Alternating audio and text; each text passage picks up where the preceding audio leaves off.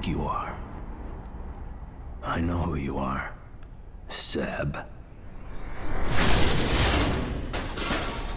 I know what you crave, what you fear. Will you be able to live with yourself knowing what I'm gonna make you do? Poor little Joseph couldn't.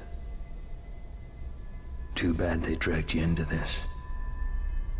But either way, you're mine.